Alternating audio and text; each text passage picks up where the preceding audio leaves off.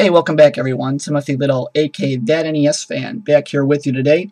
And I've been receiving a ton of subscribers lately, uh, as well as a lot of comments. I'm going to get into the comments a little bit later. But yeah, a ton of subs lately. Very happy. And I just want to take this a chance, this opportunity, to thank you, first of all, for subscribing, and let you guys ask any questions you might have in this video. Uh, in, in the comments section below on this video. So just so that I kind of see where, if you have any questions about a game you want me to review or a game I have reviewed, you know, years in the years ago, uh, go ahead and feel free to ask anything you want or comment on, on anything you want, and I will for sure address each question in a separate video. I've been asked before by a couple of you guys on here if I would do a live stream, and scheduling right now doesn't really permit me to do that because uh, I am on kind of a tight schedule here, so I will not be doing any live streams soon. I, I, I mean, except for maybe perhaps um, on Twitch a little bit because I can just simply do a screen capture. I don't have to sit in front of the camera and keep talking.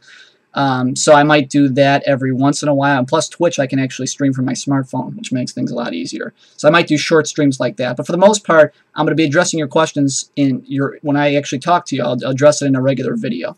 So ask me anything you want, uh, you know, and I will go ahead and address them as best as I can in an upcoming video. Now, I also want to go ahead and refer, actually answer some comments that I received in my Reicast videos lately.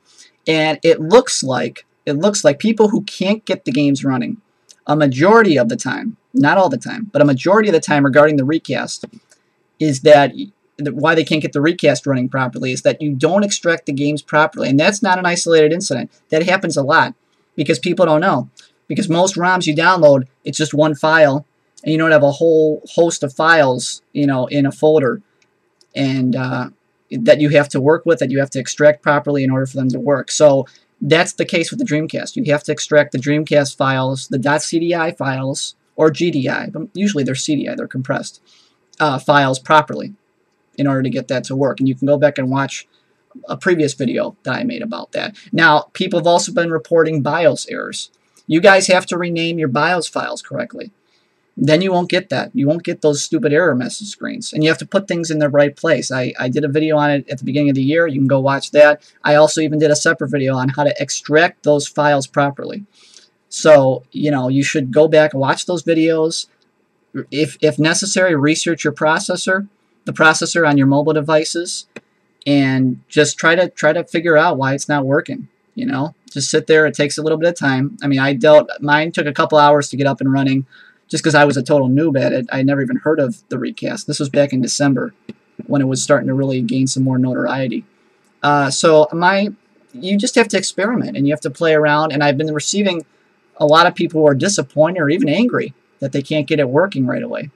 You know, it's a work, the, the developers themselves, I mean, it's a work in progress, and um, I would not, it's, it's by no means a completed project. It's, it's not, it's not a universal type of app. It's gonna, it's gonna be different on different platforms. It's going to be it's, it will the performance will differ on different on different mobile devices. So you don't know. I mean, it runs differently on my phone than it does on my NVIDIA Shield. So you don't know. You don't know until you actually try it out. And that's my point. And that was my point in the video was that, hey, this is cool. I can get it working on the NVIDIA Shield. I know I said it in the, the title. I said on any Android device because that's the way it was marketed. But I was just doing it on my Shield to show you guys because the Shield has a really powerful processor on it. So again, uh, ask me any questions you want. You're free to do that here. I will for sure answer them, assuming they're not personal attacks on me, in, which case they will be deleted. But yeah, anything you want to kind of clear up, I can go ahead and address that in a separate video. We'll not be doing live streams. Don't count on that, uh, other than maybe occasionally on Twitch, but that's a big maybe. So yeah, so I just wanted to go ahead and talk a little bit to you guys directly here than just keep putting up uploads after, or footage after footage after footage. So that'll be all for now, now guys. Thank you, new subs. We appreciate that. I will try to do a, a shout out to you guys in the next week or so.